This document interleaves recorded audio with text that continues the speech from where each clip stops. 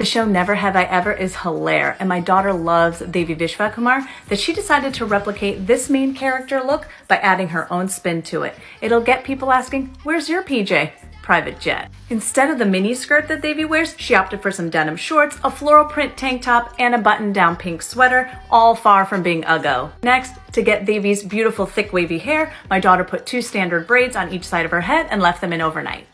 She loves the chunky white sneakers that Devi wore in that song with her friends, but had her own Jordan 3s in chunky pink and felt more comfortable in those. Since my daughter didn't have this lovely shell necklace, she did opt for her coral looking one to keep with the beachy look, and we can't forget those hoop earrings. This outfit is so adorbs and appropriate for school, will make you forget about Ben and Paxton and get you to feel like you're riding a Vespa through Sherman Oaks.